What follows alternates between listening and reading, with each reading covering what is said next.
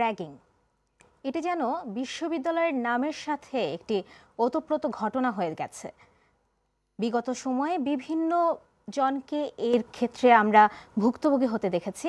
তেমনই একটি ঘটনা ঘটেছে এবার কুষ্টিয়ার ইসলামিক বিশ্ববিদ্যালয়ে। র্যাগিংয়ের নামে এ কেমন পাশবিকতা? এ বিষয়টি নিয়ে আজকে সময় টিভির ফেসবুক লাইভে আপনাদেরকে বিস্তারিত জানাতে আছি। আমি মাইমুনা হায়দার চৌধুরী।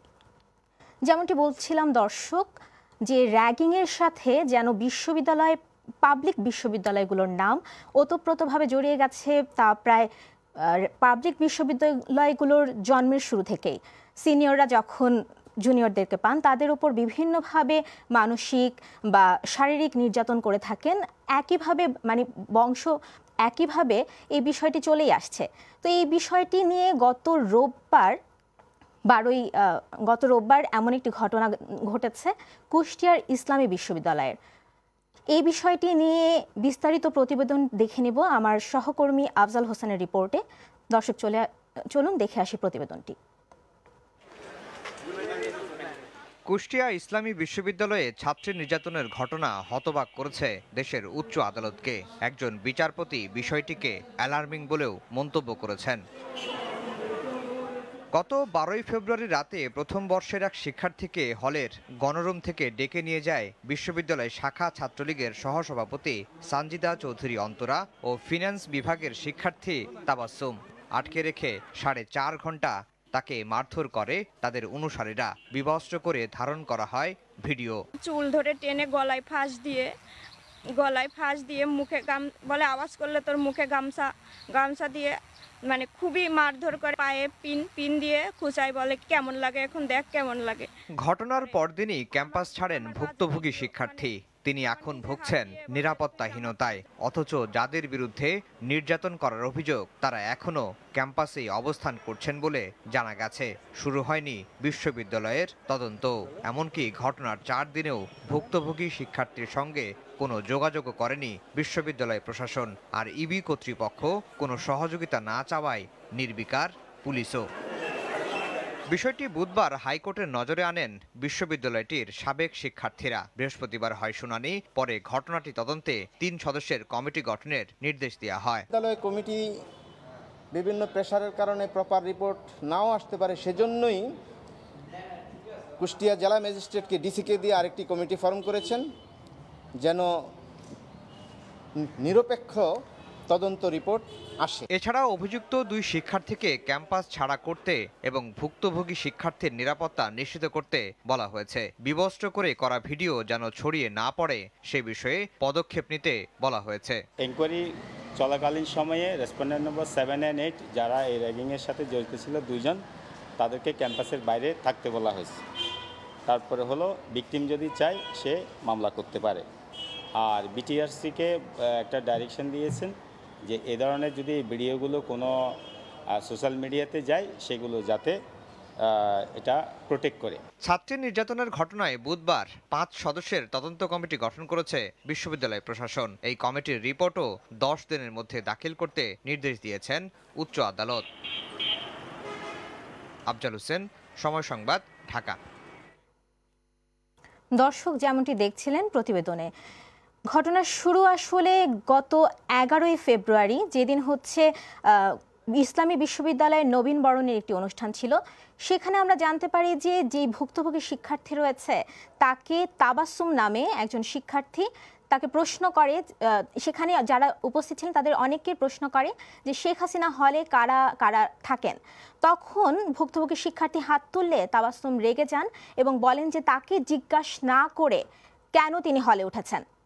এমন ঘটনায় পরবর্তী দিন পরদিন তাকে যদিও দেখা করার কথা বলেন তাবাসুম কিন্তু ভুক্তভোগী শিক্ষার্থী অসুস্থ থাকার কারণে তার সাথে দেখা করতে পারেননি। আর এতেই ক্ষুব্ধ হয়ে যান তাবাসুম যিনি বিশ্ববিদ্যালয়ের ছাত্রলীগেরই নেত্রী।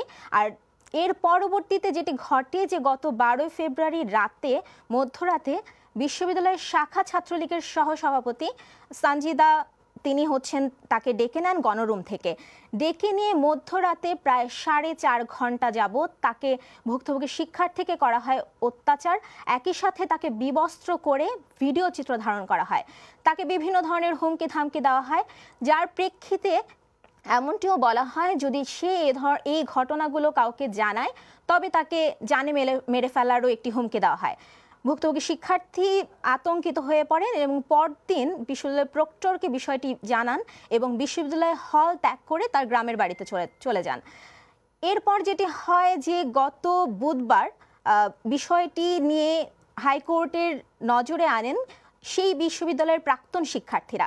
হাইকোর্ট বিষয়টি নিয়ে উদ্বেগ জানান এবং পরবর্তী দিন, অর্থাৎ আজকে এই বিষয়ে শুনানি শেষে হাইকোর্ট এই বিষয়টি অত্যন্ত অ্যালার্মিং বলেন যে যে কোনো বিশ্ববিদ্যালয়ে শিক্ষার্থীরা যখন শিক্ষা নিতে যান, সেখানে যদি সিনিয়র বা শিক্ষক বা যে কারও দ্বারা যদি কেউ নির্যাতনের শিকার হয়, সেটি হোক যেভাবেই, তাহলে সেটি আসলে দেশের জন্য, শিক্ষা ব্যবস্থার জন্য হুমকি স্বরূপ। যার প্রেক্ষিতে দেশের সর্বোচ্চ আদালত এই বিষয়টি তদন্তের নির্দেশ দিয়েছেন। যদিও এর আগে ঘটনাটি ঘটার পরেই আহ, যে- বিশ্ববিদ্যালয়ের শাখা ছাত্রলীগের পক্ষ থেকে তদন্ত করার কথা ঘোষণা দেওয়া হয়েছে। একই সঙ্গে বিশ্ববিদ্যালয়ের প্রশাসনও তদন্ত কমিটি গঠন করেছে। যে তদন্ত কমিটিটি সাত দিনের মধ্যে রিপোর্ট দেবে এমনটি বলা হয়েছে। কিন্তু হাইকোর্ট আজকে জেলা প্রশাসকের আওতায় তিন সদস্য বিশিষ্ট একটি তদন্ত কমিটি গঠন করার কথা বলে সাত দিনের মধ্যে সেই তদন্ত প্রতিবেদন দিতে বলেন। একই সাথে আজকে হাইকোর্ট যেটি বলছিলেন যে যে ভিডিওগুলো ধারণ করা হয়েছে, এই ভিডিওগুলো যাতে কোনোভাবেই ছড়িয়ে না পড়ে, সেটি দেখার জন্য বিটিআরসিকেও নির্দেশনা প্রদান করেন।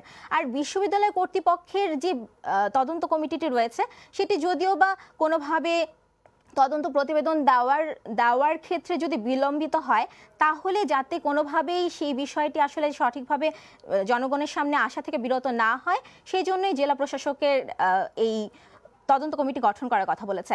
তো দর্শক, আমরা বিভিন্ন সময়ে পাবলিক বিশ্ববিদ্যালয়গুলোতে এই ধরনের ঘটনা দেখেছি, যেটি আসলে অত্যন্ত ন্যাক্কারজনক এবং দেশের শিক্ষা ব্যবস্থার জন্য, বিশেষ করে গ্রামের প্রত্যন্ত অঞ্চল থেকে এক একজন শিক্ষার্থী উচ্চশিক্ষা নেওয়ার জন্য দেশের বিভিন্ন প্রান্তে অবস্থিত পাবলিক বিশ্ববিদ্যালয়গুলোতে এসে থাকেন। কিন্তু তারপর যদি এ ধরনের ঘটনার মুখোমুখি হতে হয়, সেটি আসলে তাদের পরিবারের জন্য এবং পরবর্তীতে এই এই যে বিষয়গুলোর মুখোমুখি হতে হয়, তাতে করে বিলম্বনায় পড়তে হয় আসলে দেশের সর্বস্তরের শিক্ষার্থীদেরকে।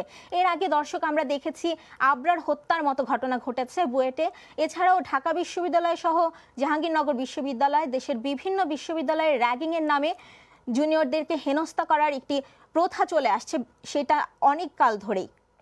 এরই এরই একটি উৎকৃষ্ট উদাহরণ বলতে পারি যে আমরা সর্বশেষ গত বারোই ফেব্রুয়ারি যেটি ঘটলো।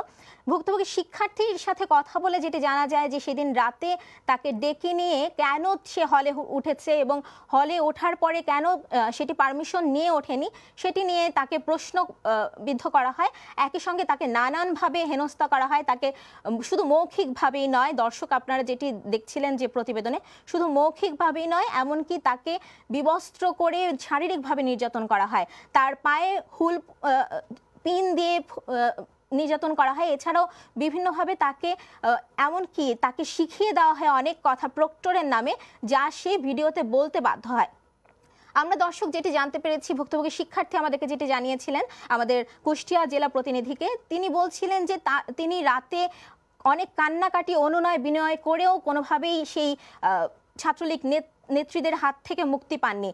এই ঘটনায় হাইকোর্ট আসলে আজকে যেটি বলেছেন যে যেই দুজন নির্যাতনকারী রয়েছেন, তাদেরকে বিশ্ববিদ্যালয় হল ছাড়ার নির্দেশ দিয়েছেন এবং একই সাথে যিনি ভুক্তভোগী নির্যাতিতা তার নিরাপত্তা নিশ্চিতের কথাও বলেছে হাইকোর্ট। কিন্তু সবশেষ আমাদের তথ্য যেটি রয়েছে যে এখন পর্যন্ত নির্যাতনকারী দুই শিক্ষার্থী হলেই বহাল তবিয়তে অবস্থান করছেন, অথচ নির্যাতিতা শিক্ষার্থী সেই ঘটনার পরদিনই হল ছেড়ে তার গ্রামের বাড়িতে চলে যান।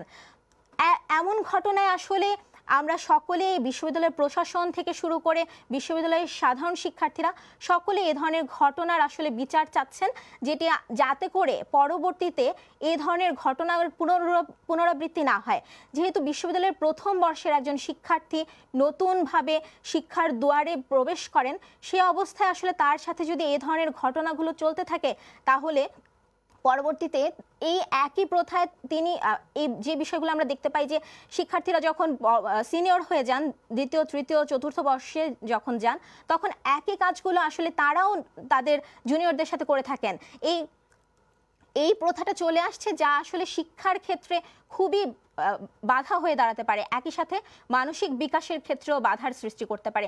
তো দেশে যাতে এই ধরনের ঘটনাগুলো না হয়, একই সাথে সাধারণ শিক্ষার্থী, ইসলামী বিশ্ববিদ্যালয়ের সাধারণ শিক্ষার্থীরা বিভিন্ন মিছিল করেছেন।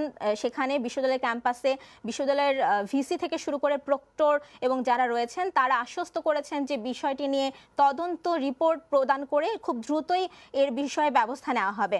তো এই বিষয়টি নিয়ে আজকে ছিল এই, এইটুকুই ছিল আলোচনা। আমরা আশা করব ভবিষ্যতে এ ধরনের র্যাগিংয়ের শিকার হয়ে যাতে আর কোনো শিক্ষার্থী নির্যাতনের শিকার না হয়। আর এই বিষয়টি আজকে গত পরশুর যে ঘটনাটি, সেটির যাতে সুষ্ঠু তদন্তের মাধ্যমে দোষীকে বিচারের আওতায় নিয়ে আসা যায়। আজকে এই ছিল আমাদের আলোচনা। সবাইকে ধন্যবাদ জানিয়ে শেষ করছি। সঙ্গে থাকুন সময়ের।